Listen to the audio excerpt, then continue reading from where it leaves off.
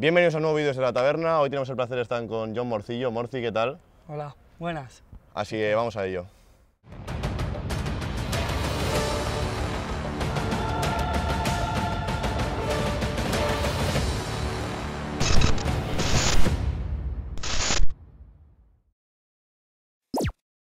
Bueno, primero de todo, preguntarte cómo estás a día de hoy, tras tu llegada a la More, ¿qué tal te ves estas primeras semanas aquí?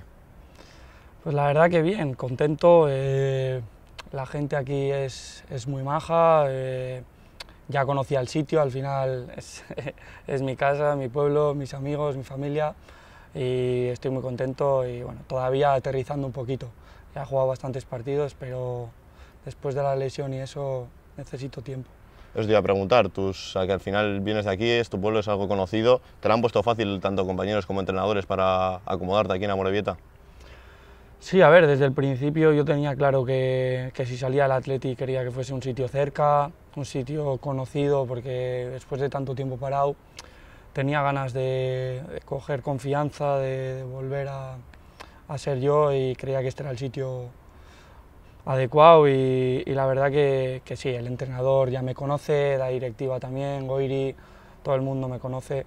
Al final eh, soy un chaval que ha jugado de pequeño en categorías inferiores y, y ha sido fácil. Echando un poco la vista atrás, te quiero preguntar por tu llegada al Athletic, ¿cómo se da esa llegada desde aquí al Athletic? Bueno, yo estoy en la Cultural de Durango y, y destaco ¿no? en, el, en el juvenil, eh, hago un muy buen año y me llama el Atleti en principio para ir al juvenil, ¿no? Ujú. pero es Joseba Echeverría quien dice que en pretemporada que prefiere que suba al Vasconia y nada, hago la pretemporada con el Vasconia y, y me quedo y, y de ahí pues bueno, tengo dos, dos añitos ahí en el Vasconia, luego subo al Bilbao Atleti y el primer año mío no, no juego mucho y el segundo con, Oche- con Echeve otra vez es cuando, cuando pego ¿no? el golpe encima de la mesa y, y me gano la pretemporada con el primer equipo y después de, de esa pretemporada que yo no sabía qué iba a pasar conmigo, ¿no? pues eh, meto bastantes goles en pretemporada y consigo quedarme en el primer equipo. Es lo que dices tú, es un proceso al final largo, muchos años en Lezama. Eh, ¿Qué sensación te da cuando pasas ya con el primer equipo, de esos jugadores que has visto miles de veces en la tele, a pasar a estar con ellos en el vestuario, ser tus compañeros? La verdad que es un orgullo, ¿no? Cuando, cuando estás en categorías inferiores y te los cruzas, les ves, les ves por allí, pues a, a Mítico Muni, Demar, Willy, que llevan eh, mil años en, en Sí. primera división y son gente ¿no? consolidada, Raúl García, esta gente, ¿sabes? Que tiene mucho nombre. Tú los ves y, joder, siempre sueñas con estar ahí, ¿no? Y cuando te ves ahí en pretemporada, que llegas y, y dices, hostia, que estoy compartiendo vestuario con ellos, que estoy eh, entrenando con ellos, pasando tiempo con ellos. Ahora, ¿sabes? Eh, a Willy, si quiero, le escribo, eh, le llamo, ¿sabes? es mi amigo, uno de los mejores amigos que, que tengo dentro de la plantilla y eh, pues al final es, es un sueño ¿no? para mí poder haber compartido todo ese tiempo con ellos. Al final, ese primer año que comentas es con Garitano como entrenador. ¿Qué te comenta Garitano en cuanto llegas a hacer la pretemporada con el primer equipo? ¿Algún mensaje que Pues, haya quedado guardado? Sinceramente, cuando empieza a entrenar, eh, a mí se me dice pues, que en principio la idea es, es ¿no? que vengo de- del B, había bastantes extremos en esa posición eh, eh, y se me dice ¿no? que, que voy a hacer la pretemporada y que, y que en principio pues, salgo, salgo cedido, Ujú. pero Garitano no me dice nada. Y a medida que van pasando los entrenamientos, que va, que va pasando el tiempo, pues... eh, pues habla conmigo ¿no? y me dice que, que estoy dando buenos datos físicos, que estoy entendiendo bien eh, pues al equipo. Y, y en pretemporada pues eh, hago buenos partidos, meto gol contra el Eibar, contra el Alavés, eh, hago, hago buena pretemporada y sin decirme nada, yo no sabía qué iba a pasar conmigo y, y empiezo el primer partido, bueno, con Garitano lo sabía del día de antes porque él Ujú. daba el 11 antes, pero él, él no me dice nada, simplemente veo que voy a jugar titular en Granada, ¿no? que voy a debutar en Primera División y, y joder, no me lo creía, ¿sabes?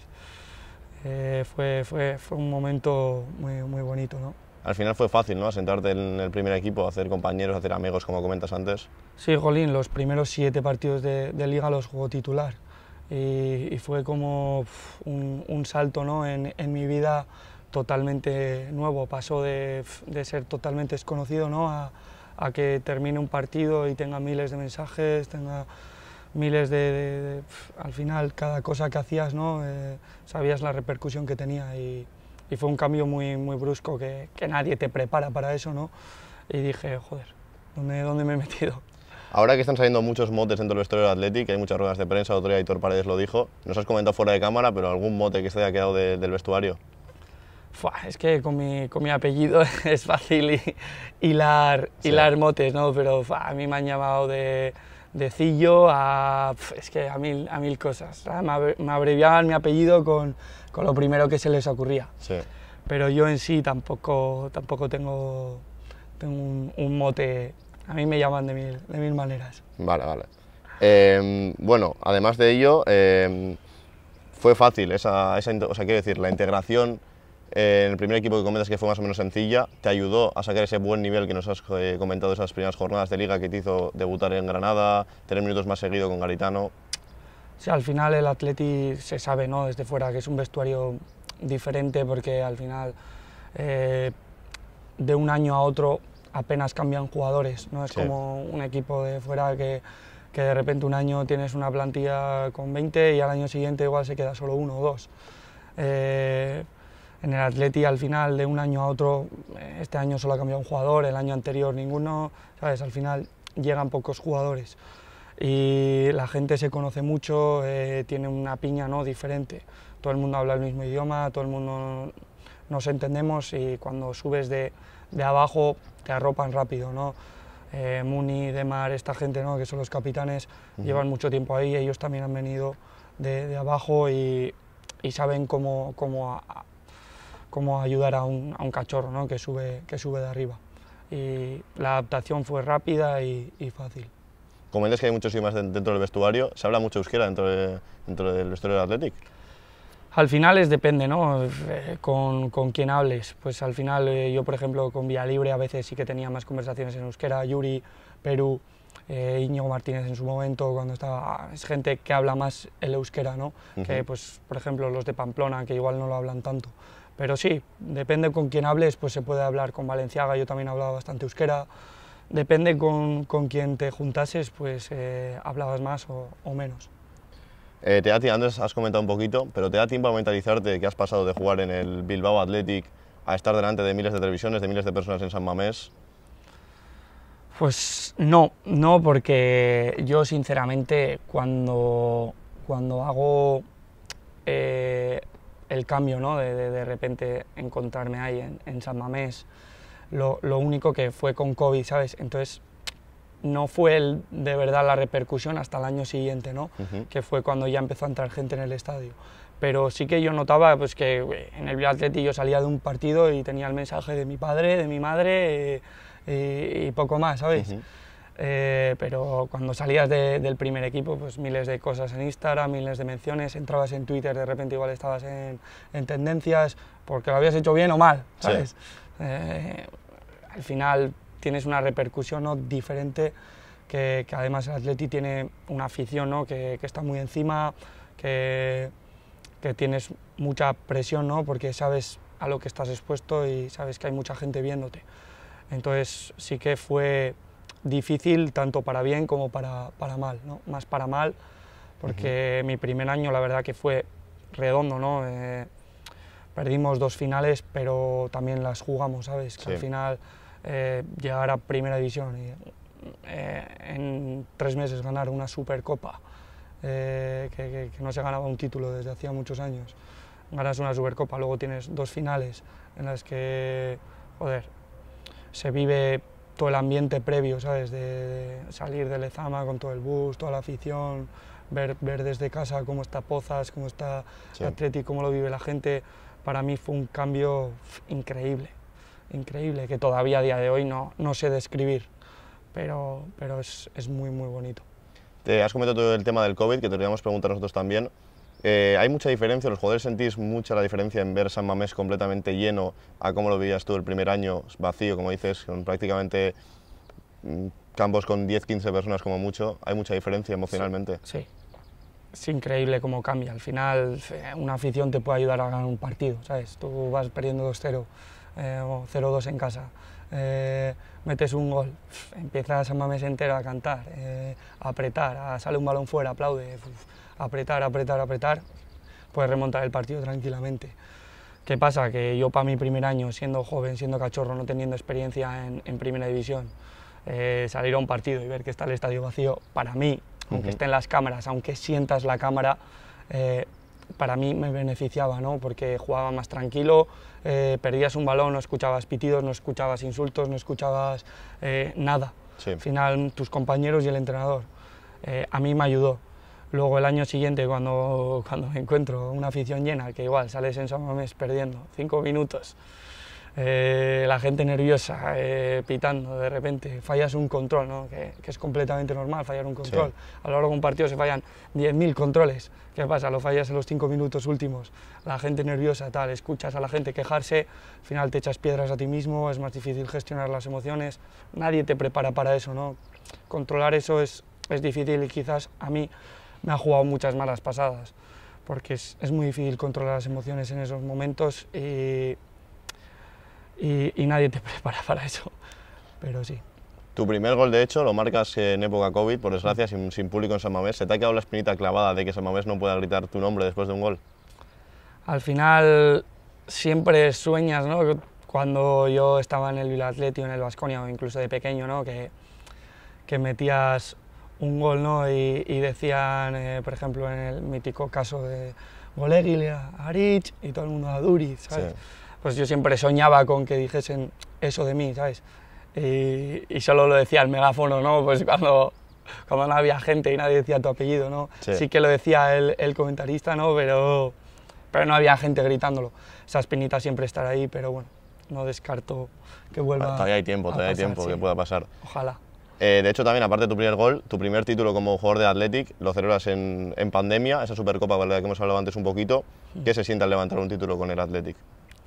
Jolín, pues lo que te digo, yo al final, eh, todavía a día de hoy no creo que, bueno, ni yo ni, ni todos somos conscientes ¿no? de lo difícil y el mérito que tiene ganar un título con el Atleti, ¿no? Yo ya, pase lo que pase, yo voy a estar ahí para toda la historia. Al final, Ujú. ese título, mi nombre va a salir ahí, jugué.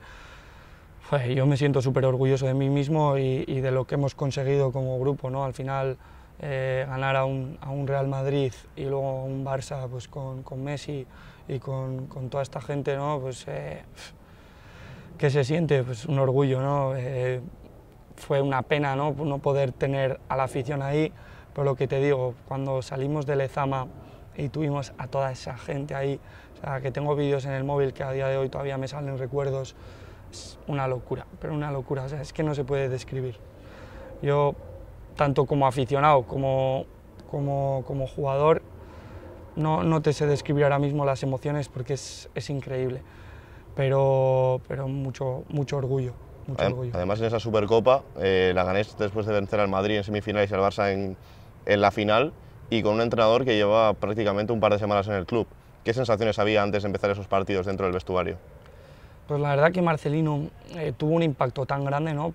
Eh, en apenas una semana era como que ya sabíamos todo lo que teníamos que hacer y, y fue como un empuje de, de querer demostrar al, al entrenador y, y al cuerpo técnico que, hostia, que, qué jugadores tenían, ¿sabes? Que, Ujú. y, y siempre suele pasar, ¿no? Cuando hay un cambio de entrenador, hay cambios de actitudes, todo el mundo quiere jugar, todo el mundo quiere apretar y, y esas dos semanas la verdad que volábamos. Eh, no sabíamos muy bien todavía eh, cómo quería que jugásemos, pero sí que nos explicó las cosas claras para esos partidos y, y- y volamos, ¿sabes? Fue, fue, fue muy- una adaptación muy rápida y, y la verdad que mira qué impacto tuvo, ¿sabes? Además fue un cambio de formación, si no me equivoco, porque con Garitano no jugabais así y con Barcelona pasáis a un 4-4-2. Es fácil al final adaptarse en, en nada, en lo que digo, una semana a ese cambio de alineación, a jugar en otra posición, de otra manera. O sea, al final cambias a un 4-4-2, que Marcelino no sale de, de un 4-4-2 ni, aunque, ni aunque pierda cuatro partidos seguidos 10-0. Al final él, él tiene las ideas claras y él te explicaba cómo hacer todo claramente para cada partido, preparada cada partido de, de una manera, ¿no? en base al rival, y, y siempre te especificaba todo muy claro. Y, y para esos partidos la verdad que, que nos preparamos y fue más el, el querer y las ganas y, y la fuerza que, que, nos transmitió y lo que queríamos todos ese título que, que todo lo demás, ¿sabes? Sí. Se, juntó, se juntó todo eso, que luego también nos llevó a otra final, ¿sabes? O sea, fue un año de, de muchísimas emociones. Hablando de finales, por desgracia tenemos que hablar de la final de Copa, esas dos finales de Copa que se pierden en dos semanas. Después de perder la final, eh, ¿qué, cómo, cómo, estás, ¿cómo está el vestuario y las siguientes semanas cómo estás tú personalmente después de, de ello? Pues imagínate, ¿no? La presión en la que te expones eh, en una final como, como, es contra la Real Sociedad, por la, por la rivalidad de, histórica que, que, se supone que tenemos, ¿no? Sí. Por, por, ser un derby, eh, una final que se atrasa un año eh, por el COVID. Al final, eh, todo el mundo, tanto aficionados de la Real como aficionados del Atleti, esperando tanto tiempo, ansiadamente esa final. Eh, la presión que sentimos como, como club, eh, como jugadores, todo lo que se rodea, todo lo que se vive, la de, la de vídeos, la de, la de apoyo, la de, la de presión que, que tenemos ¿no? en, en, esa, en esa final, yo creo que no supimos gestionarla bien y nos jugó una mala pasada, ¿no? porque al final ese partido es que no, no éramos nosotros, no éramos nosotros, no es una excusa, lógicamente, uh -huh. al final fue fue culpa nuestra porque no, no conseguimos eh, sobreponernos a, a, esas situaciones y eso que teníamos jugadores con experiencia, ¿no? que ya habían jugado finales, pero, pero son situaciones que, que, no, que no estás acostumbrado a vivir y la verdad que nos, nos, nos costó mucho.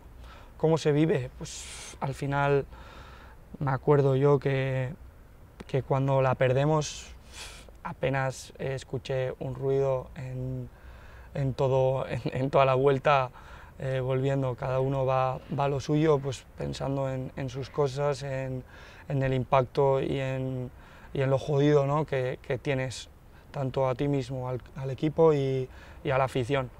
Fue, fue un momento duro que yo me acuerdo que de hacer planes con el equipo a uh -huh. pasar a, a, estar un mes apenas sin salir de casa, ¿sabes?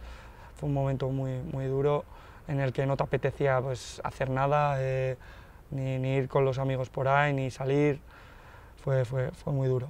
No, no sé describírtelo bien porque ha pasado ya tiempo y, y cuesta recordarlo, pero, pero, fue duro. ¿Y cómo será la vuelta a esa situación? Porque luego tenéis que seguir jugando la Liga, pues luego intentar entrar en Europa. Le damos, le damos la vuelta pues, llegando a otra final, ¿no? Eh, al final creyendo que, que, la Copa es nuestra, eh, intentando demostrar a, a, la afición que, que joder, hemos perdido esa final, pero que este año vamos a dar todo otra vez para poder volver a conseguirla. Uh -huh. Y, jolín, ganamos, ganamos al Levante, ganamos al Betis, a penaltis, al Levante metemos el, el gol en la prórroga. Eh, joder, yo tengo la suerte de jugar y de meter un penalti que nos lleva a la semifinal contra el Levante. En el Levante también tengo la oportunidad de jugar esa, esa semifinal que nos mete en la final. Joder, vivir esos momentos pues, de, en el vestuario con la trompeta. Eh, es que fue algo increíble, ¿sabes? Algo único. Y, y luego pues, te plantas en otra final y intentas, dices, joder, vamos a demostrar a la afición, hostia, que hemos perdido una final, ha sido un golpe duro, pero vamos, vamos a ganar esta. Uh -huh. Y te llevas otra vez ese mazazo, ¿no? Eh, sabíamos que el Barça después de haberle ganado la Supercopa eh, eh, hace meses, iba a venir con rabia. Eh, tenías a Messi, Griezmann, Dembélé. Es, es, un Barça fuerte, ¿sabes? Y, y después de además perder la, la, final anterior sabíamos que iba a ser muy difícil. Nosotros veníamos del golpe duro que, que suponía perder la final contra la Real. Teníamos el miedo de perder dos finales seguidas la verdad que, que, es muy difícil gestionar esas emociones y como te he dicho antes, nadie te prepara para eso y es difícil gestionarlo, pero bueno, no es excusa, lo vuelvo a repetir eh, y ojalá este año puedan, puedan ganarla. Al final la Copa del Rey en Bilbao es muy especial, creo que todos lo sabemos. ¿Se vive igual de intenso que se vive fuera, dentro del vestuario, la Copa del Rey? Es una competición tan especial dentro también. Todo el mundo sabemos que el Atleti históricamente es el, el, club que más copas, bueno, segundo ahora el, sí. el, Barça nos adelantó hace poco, pero históricamente sabemos que el Atleti es muy fuerte en la Copa del Rey, es un, una competición que gusta, que el aficionado cree en ella y obviamente el vestuario sabemos que, que somos fuertes. ¿no? Eh, prácticamente el año pasado, mira, eh, hace dos, mira, o sea, estamos dando guerra, somos un equipo que, que da guerra en, en esa competición y, y, está claro que el, el, el club y, y, los jugadores la sentimos como que, que la queremos, la hemos tenido cerca y seguimos soñando con ella. Dejando un poco de lado ya lo colectivo, centrándonos un poco más en ti, ¿qué persona es la que más te ha marcado dentro del mundo del fútbol? Uf, buena pregunta. Persona, jugador o entrenador. Un poco de todo, un entrenador, una persona, un jugador, un compañero. A ver, entrenador, es que me han marcado bastante todos porque al final son entrenadores de, de gran nivel, pero si tuviese que quedarme con uno, quizás Echeve, porque fue el que confió en mí cuando uh -huh. venía de un año difícil en el que no había jugado apenas en el Atleti, estaba un poco estancado y tú sigues teniendo el sueño, ¿no? De, de, sabes que estás cerca, sabes que por cantera tienes quizás más posibilidades que si estás en una cantera pues, como la del Real Madrid o, o Barcelona o, o, esas canteras ¿no? que, que dices, es que me pueden fichar ahora mismo cualquier estrella y, uh -huh. y, y, pues quizás fue el que me ayudó ¿no? a, a, a, darme esa confianza que, que me llevó a hacer un, un, buen año. Pero es que luego también he tenido grandísimos entrenadores como Marcelino. Marcelino, mi primer año juego mucho con él, el segundo tengo que salir cedido porque no tengo minutos, pero aún así entrenando aprendías mucho, eh, te marca, ¿no? tanto el vestuario fue un cambio grande. Y en jugadores, personas, pues es que estoy rodeado de personas increíbles. Valenciaga es un, un excelente profesional que, que, que, te marca, Raúl García, otro excelente profesional que te marca, pero luego pues, al final la relación que he creado con Sancet, con Geray, con Willy, que son amigos dentro de, del vestuario, que, que ahora sigo, estoy aquí, sigo quedando con ellos para cenar, para comer, hago planes con ellos. Uh -huh. eh, todo eso, ¿no? el poder estar rodeado de esa gente y llevártela pues, para el resto de tu vida, ya, ya te marca. Has comentado antes el tema de que pasas esa etapa un poco sin, sin, tener minutos, donde vas al Valladolid, donde puedes vivir un ascenso, tener más minutos más seguidos, quiero decir. ¿Fue un factor clave para volver a tener esa confianza después de un año parado, por decirlo así, o con menos continuidad? Sí, al final yo salgo al Valladolid, Pacheta me, me, me insiste ¿no? que vaya, que, que confía en mí y, y yo llego allí pues con confianza ¿no? de, que, de que puedo hacer un buen año y bueno, luego me encuentro que hay una plantilla con un nivel altísimo, hay jugadores eh, tanto en mi posición como en la plantilla que, que, es muy fuerte, no noto apenas cambio de nivel ¿no? de, de entrar en un lado o en otro, eh, me encuentro un equipo muy competitivo, hostia, que tiene una presión tanto como, como afición como club de, de ascender y, y la verdad que, que, no tengo los minutos que termino, o sea, que quiero tener, ¿no? Uh -huh. Pero conseguimos el ascenso y al final el no tener los minutos me hace eh, llegar a, a, a pretemporada con, con, un nuevo míster con confianza, ¿no? Y que, bueno, al final también hago una pretemporada bastante buena y consigo quedarme en el primer equipo con, con Valverde que, que, me dice ¿no? que, que, me quede, que cree que, que, puedo ayudar al equipo y bueno, empiezo jugando pocos minutos pero salgo y tengo oportunidades y bueno, me hagan una renovación ¿no? que, que me hace todavía estar hilado al, al Atleti. En esa pretemporada, de hecho, nos pareció creo curioso a muchos, hay un partido en el que tenemos como lateral izquierdo. Sí. Eh, ¿Eso es un experimento de, de, Valverde o habló contigo anteriormente? No, no, no habló. Yo de hecho entro a la charla y Valverde siempre pone encima de la pizarra ¿no? pues los nombres con los que, con los que empiezan el 11, ¿no? Entonces tú entras y lo normal es cuando entras miras en tus posiciones, ¿no? Sí. Yo sé que juego extremo izquierda, pues, pues miro en, mi, en, la izquierda y miro los de arriba primero siempre, ¿sabes? A ver quién juega arriba, luego ya te sientas y, y pues ya echas un poco la vista ¿no? al, al 11, a ver quiénes juegan, tal, y ese, ese día pues veo que no, que no juego, y, y, sí que a veces, pues cuando no había laterales o tal, entrenaba de lateral. Y pues al final, en, dentro de las posiciones de, de, extremo izquierda que había, era el que más me adecuaba a, defender, ¿sabes? Al final, entre que, que, estuviese Nico o Willy o Berenguer, pues eh, ¿quién defiende un poco mejor igual? Pues, ¿O quién se adapta mejor a lateral? Pues Murci, pues le pongo Murci. y, y, entro y veo en la pizarra que no, que no sale mi nombre en la banda izquierda, me siento tal, no sé qué, me pongo a mirar, miro para un lado, para otro, empieza la charla y le miro al mister. Y en una de estas que está mirando, se me ocurre mirar a la pizarra otra vez y veo mi nombre y digo, ¿cómo? De lateral. Digo, de lateral yo, me quedo así, me pongo a mirar ya nervioso a los lados, la gente me mira, se ríe y digo, hostia, que voy a jugar de lateral. Ya me puse nervioso, digo, hostia, es mi primer partido en mi vida de lateral. Y bueno, al final tenía a Iñigo Martínez al lado, me ayudó mucho. Eh, fue un partido en sí que, que tampoco fue muy difícil y, y, creo que lo hice bastante bien, pero, pero la verdad que me sorprendió. No, no, no, me, no me habló, me habló luego una vez para antes del partido, me ayudó, me, me, dio bastantes consejos, pero, pero antes del partido no me dijo vas a jugar de lateral, simplemente me vi ahí y ya está. ¿Hablaste con Yuri o con Valencia, que eran los laterales, por decirlo así, de la primera plantilla, laterales izquierdos, para que te dijesen algo antes del partido? Ah, sí, me dieron bastantes consejos, pero me dijeron que estuviese tranquilo, que, que no era difícil, que, que, con estar concentrado seguro que lo hacía bien. ¿Te gustó la posición o, te prefieres quedar ahí en la banda en, ataque mejor? A ver, es una posición que creo que, que es más fácil de jugar porque eh, creo que se mira con más ojos eh, cómo atacas que cómo defiendes. ¿no? Al final, eh, en un extremo tienes por obligación ¿no? sacar algo. Al final, la lateral con balón, simplemente con que se la des al delante o, hagas las cosas un poco mejor, ya haces un partido normal, creo.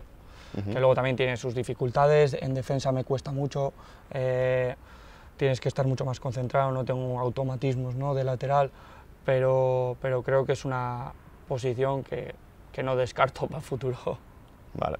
Volviendo un poco a tu cesión al Amore, donde estás ahora mismo, eh, es una cesión que ha llevado mucho de lo que hablar en las, últimas semanas de mercado. Eh, ¿Cómo se da esta cesión? Bueno, pues yo como me lesiono en, en febrero, eh, tengo claro, pues después de, de la lesión, mm, intento llegar a, algún partido, ¿no? Pues para que la gente o, o, o o yo mismo ¿no? pueda, pueda aportar algo hasta antes de que termine la, la, temporada, pero se me alarga, se me complica la situación y sé que no llego. Tengo que sacrificar el verano, eh, entrenar y sé que, que, lo tengo difícil ¿no? pues para entrar al año que viene porque ya venía de jugando pocos minutos y encima me lesiono. Sabía que casi al 100% el año siguiente tenía que salir y que el club no iba a contar conmigo. Entonces eh, yo hablo con, con, mi representante ¿no? con, con tiempo para, para, intentar preparar una salida. Y bueno, el Atleti habla conmigo también eh, y empezamos a gestionar un poco la salida. ¿Qué pasa? Que yo tenía claro que, que después de, de, la lesión quería estar cerca de casa, quería sentirme ¿no? arropado en un sitio en el que se me conozca, en el que no sea un cambio eh, de vida tan, tan grande. ¿no? Que, igual es como irte a vivir a otro sitio, cambio de ciudad, cambio de idioma o simplemente cambio de ciudad. Quería estar cerca de casa, quería estar cerca de mi familia, de mis amigos y estar en un sitio que conocía y joder, teniendo a la Morevieta en casa en un segunda división, creía que este podía ser un sitio bueno y bueno, la transición se da más vueltas de las que me hubiese gustado, pero bueno, al final estoy aquí y ojalá pueda volver a, al nivel que, que me gustaría. Ojalá. Eh, ha habido mucho interés también, creo, si no me equivoco, por parte de equipos del extranjero, como comentas ahora, por tu cesión. ¿Se llega a hablar de algún equipo con el Athletic sí. al que puedas llegar? Sí. ¿Se pueden saber nombres? Eh, pues, mm, a ver, es que a mí tampoco se me dicen muchos nombres, se uh -huh. me dicen dos o tres. Eh, el Eren Beren era uno de ellos, algo así. Es que tampoco focalicé esos nombres ni in, insistí en que se negociase porque yo no descarté esas, esas negociaciones. El, el Atleti ¿no? me, me, insiste en que creen que es una buena opción salir fuera al extranjero porque uh -huh. creen que, que, allí si hago buenos años pues me pueden salir cosas y, y tal, pero yo insisto en quedarme aquí, entonces no focalizo en que se me busquen cosas allí o en que se negocie con esos clubes. Y en ningún momento se negocia nada Ujú. porque yo lo descarto. O sea, tú, tú estabas centrado en que quieres venir a la More y querías estar aquí. Bueno, ya para terminar, eh, aparte de objetivo colectivo, ¿qué objetivos tienes personalmente este año aquí en el Amore? Bueno, colectivo creo que está claro, al final somos un club humilde, tú te pones a mirar segunda división y tienes todo capitales o equipos fuertes, ¿no? Y, Sí. y creo que el objetivo aquí está claro, pero personal, personal tampoco me quiero poner eh, goles o asistencias o esas cosas porque creo que es ponerte una presión encima de la mochila que, que, que es, que es peor para ti, ¿no? Pero yo con, conseguir mi, mi nivel físico, mental y, y futbolístico eh, que conozco y que sé que puedo llegar a, a dar, me, me vale porque sé que si doy eso van a pasar muchas cosas y van a pasar cosas buenas. Me conozco y confío en mí, lo que pasa que sé que ahora mismo todavía estoy lejos, tanto físico como mental, más mental quizás, y necesito tiempo de adaptación, eh, de, volver a coger ritmo y, mentalidad, confianza, pero creo que estoy en el sitio adecuado y, y no confío en, en que vaya a salir mal, sino bien. Bueno, pues esto ha sido todo. Es que ricasco por este tiempo que nos, has- que nos has dado. Así que mucha suerte esta temporada y ojalá te vayamos rompiendo también en el Atlético el año que viene. Gracias.